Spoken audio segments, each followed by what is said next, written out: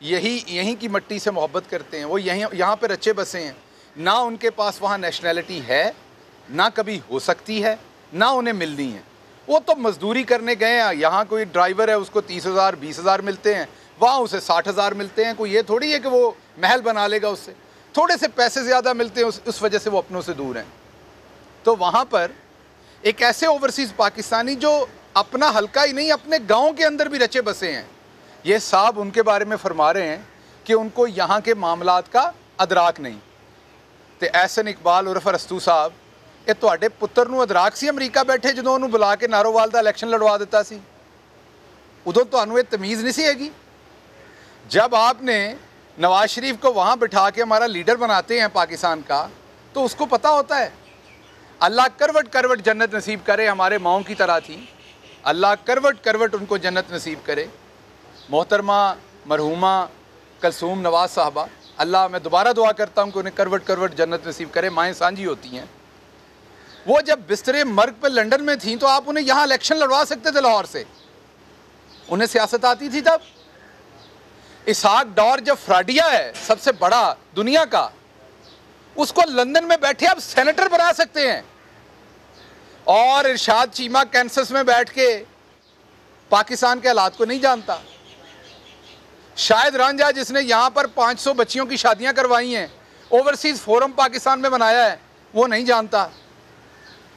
मोहम्मद मुनीर मुगल, जो जद्दा में कंस्ट्रक्शन का दिहाड़ीदार है और साल में एक दफ़ा घर आता है, उसको नहीं पता। अजमल टैक्सी ड्राइवर जो दुबई में है, जो टैक्सी चलाता है, रोज़ अपने घर फ़ोन करता है, उसको नहीं पता। ऐसन इकबाल साहब, कुछ हयानु हथ मारो। कुछ हयानु हथ मारो हमसे दुश्मनी करें, हमारे साथ सियासत करें पर ओवरसीज़ पाकिस्तानियों के साथ इतनी नफरत मत करें।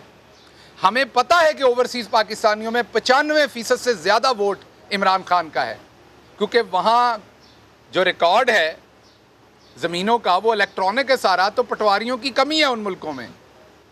पटवारी सिस्टम नहीं है वहाँ पे। वहाँ पे डॉक्टर बंदे को ये भी बताते हैं कि ज़्यादा तेल वाली बिरयानी खाने से हार्ट अटैक होता है तो लोग बिरयानी के शौकीन भी नहीं हैं।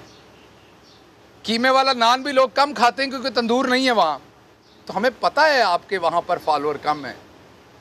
लेकिन इतना नहीं गिर जाते सियासत में कि अब पाकिस्तान के लाखों लोग जो यहाँ से बाहर जाके मेहनत मजदूरी कर रहे हैं, आप उनसे उनका वोट का हक छीने। क्या अमेरिका ने नहीं दिया हुआ वोट का हक अपने ओवरसीज लोगों को? क्या दूसरे मुल्क नहीं देते ये हक? तो इसलिए आप सियासत करें, लेकिन इस तरह की हरकतें मत करें। अब मैं आपके सामने कुछ रखता हूँ, उसके बाद मैंने एक इंपॉर्टेंट आपसे डाटा शेयर करना है। सबसे पहले तो मैं ये रखता हूँ कि ब्राज़ील ने 1996 में और फिर 2000 में आम इंतबात इलेक्ट्रॉनिक वोटिंग सिस्टम जो मशीन है, उस पर करवाना शुरू किए। बेल्जियम ने उन्नीस सौ चौरानवे में कानून मंजूर किया और उन्नीस और 2000 से ये कवानीन, ये मशीन पे इलेक्ट्रॉनिक वोटिंग मशीन पर इलेक्शन पर इलेक्शन शुरू हुआ। ऑस्ट्रेलिया में ईवीएम का आगाज़ उन्नीस सौ अठानवे में हुआ। इटली में ये 2004 में हुआ। अर्जेंटाइन में ये 2003 में हुआ। इंडिया में आपको पता है बहुत मुद्दत से हो चुका है। यूके में ईवीएम का आगाज़ 2002 में हुआ। स्पेन में आम इंतबात इलेक्ट्रॉनिक वोटिंग का आगाज़ 14 मार्च 2004 को हुआ। कोस्टोरिका में 2002 ये मुल्कों की लिस्ट है, जो लंबी लिस्ट है, जो मैं गिनवा सकता हूँ। हाँ वहाँ पटवारी निज़ाम नहीं है। वहाँ आपके गुल्लू बट नहीं है। आप चाहते हैं इलेक्शन लड़ना और जीतना गुल्लू बट के नाम पे। ये अब हम आपको नहीं करने देंगे। ये तब तक था जब तक हम हुकूमत के वानों में नहीं थे और आपकी बदमाशी चलती थी। अब इमरान खान हुकूमत में आ चुका। अब पाकिस्तान बदल के रहेगा। हम अगला इलेक्शन जीतें या हारें? इलेक्शन इलेक्ट्रॉनिक वोटिंग पे होगा। इलेक्शन अब आपको वो बैग्स की धांधली पे नहीं करेंगे कि हमें फिर कहना पड़े चार हल्के खोल दें। फिर आप चार हल्कों के खुलें, फिर स्टे ऑर्डर हो जाएँ। फिर जब आखिर से खोलें तो अंदर से बिल्ली निकले। वो चारों हल्के जो खुलवाए, सब में बेजाबतियाँ हुई। चारों में दोबारा इलेक्शन करवाने पड़े। और जब आप हकूमत में थे तो आप किस तरह से इलेक्शन जीतते थे, वो सबको पता था। एक अहम डेटा आपके सामने रखना चाहता हूँ आज के लिए। अक्सर लोग पूछते हैं कि ये जो आप अदाद शुमार देते हैं, इससे आम आदमी की ज़िंदगी में क्या फ़र्क है? तो मैं आपको बताता हूँ। वज़ी अजम जब ऑफ़िस में आए 2017-18 का जो बजट था वज़ी अजम के दफ्तर का, वो चार सौ पचासी मिलियन था। और उसमें कोई रिडक्शन नहीं थी, बल्कि तिरसठ मिलियन, सवा छः करोड़ छः करोड़ तीस लाख और लिए गए साल के करीब आखिर पे। शायद का कान साहब थे ना तब वज़ी अजम ये मैं नंबर दे रहा हूँ, लिख लें। 2018-19 अल्लाह का शुक्र है हम आ गए दफ्तर में। 514 जो है वो मिलियंस इसका रखा गया। उसमें से जो सेविंग एलोकेशन और एक्सपेंडिचर हुए वो एक सौ छियासी मिलियन अगले साल चार सौ चौहत्तर मिलियन सेविंग एक्सपेंडिचर्स जो हुए वो 150 मिलियन अगले साल 474 फिर फिर जो सेविंग हुई वो एक सौ बासठ मिलियन तो जब शाहिद खकान अबासी थे तो कितनी हुई? सेविंग सिफर। और जब इमरान खान पहले साल आए तो 18 करोड़। दूसरे साल आए 15 करोड़। तीसरे साल आए 19 करोड़ के करीब। ये आपकी टोटल बचत बचत बचत हुई बावन करोड़ की। 52 करोड़ की। और ये किस चीज़ से बचत हुई? कि वो जो बड़े बड़े गुल्लू बट आके वहाँ पर पूरे का पूरा टब्बर खाने उड़ाते थे, वो बंद कर दिए गए। बिस्किट और चाय मिलती है। खाना लोग अपने घर से खा के आते हैं। अयाशियाँ नहीं होती। पूरे पूरे टब्बर ट्रिपल सेवन में अभी मैं वो आपके साथ ट्रैवल का एक्सपेंस नहीं शेयर कर रहा, ये सिर्फ़ दफ्तर के खर्चों की बात कर रहा हूँ। तीन साल दे विच बवंजा करोड़ रुपया सिर्फ़ इमरान खान ने चाय और बिस्किट और दफ्तर के अखराज से बचाया है। सोचो ये मुर्गे क्या कुछ खाते और पीते थे, कि बावन करोड़ सिर्फ़ इसमें बच गया है।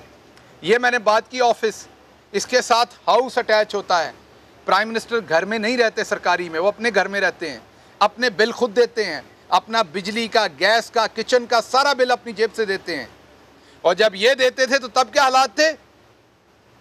517 करोड़ 517 मिलियन, इक्यावन मिलियन खर्चा था उसका।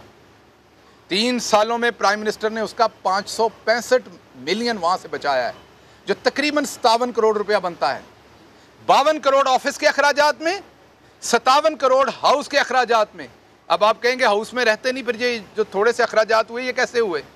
आपको ऑफकोर्स वहाँ पर कोई ड्राइवर है, कोई माली है, वो लोअर स्टाफ जो है, उनको आप निकाल नहीं सकते, उनका रोज़गार है। तो ये उन लोगों की तनख्वाहें हैं, प्राइम मिनिस्टर उसे इस्तेमाल नहीं करते।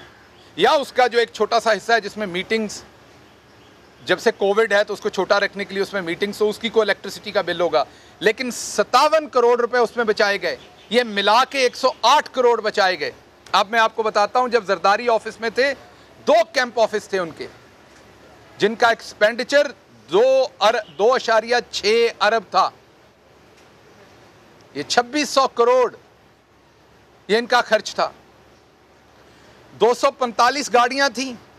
छह पुलिसमैन थे जरदारी साहब की सिक्योरिटी पे।